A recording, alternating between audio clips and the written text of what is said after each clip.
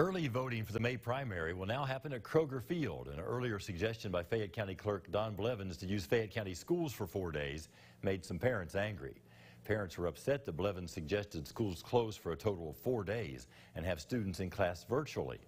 At a school board meeting today, Blevins said he's worked out a deal with the University of Kentucky to use Kroger Field instead.